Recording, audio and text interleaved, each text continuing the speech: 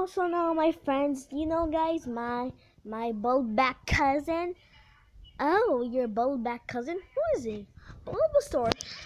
He's is coming here soon. Which was right now. And I also invited his friends. I invited Chomp Chomp. And I invited Squirt. Can call me Peep, not Squirt.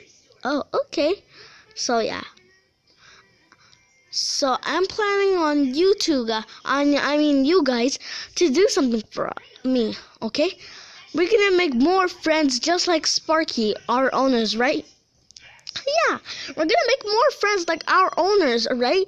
We want to have more friends, right? Yeah. Yeah, and you know her pet, her friend Raspberry. Uh, um, no, she's also a pet, but she's not coming today. And we're and we're gonna and some of us are gonna be like her. And some of us are gonna be like Sparky's friends. So hit me up top. Awesome. Let's all right. Let's get started.